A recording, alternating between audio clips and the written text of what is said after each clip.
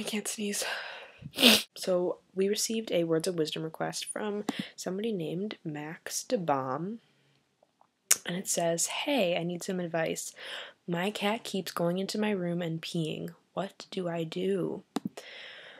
Well, Max DeBomb, um, I'm really sorry. I know we said that we would respond to all of the requests and give you advice, but um, I actually can't legally talk about cat's urination because I was actually raised Mormon.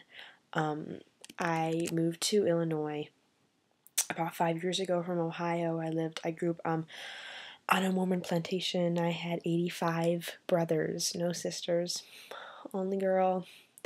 Um, and actually owning cats is against being Mormon. So, um, I mean, I've never been exposed to cat urine.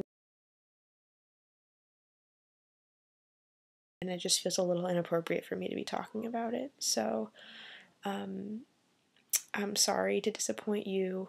Um, I hope you'll respect my wishes. Um, and if you have something else you need advice about, I'd be happy to do it. It's just, um,